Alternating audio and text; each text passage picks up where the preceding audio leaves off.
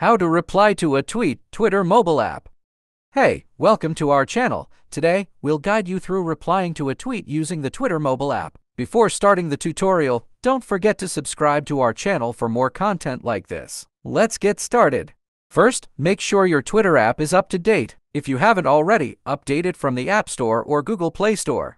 Locate the Twitter app icon on your home screen or app drawer and tap to open it. Once the app is open, navigate to the tweet you want to reply to. You can do this by scrolling through your timeline, searching for the tweet, or visiting the profile of the user who posted it. Below the tweet, you'll see several icons. Tap on the speech bubble icon labeled Reply. This will open the Reply Composer.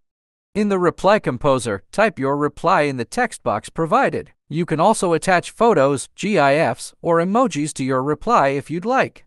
Once you've composed your reply, tap the tweet button to post it. Your reply will now be visible to the original poster and anyone who views the tweet.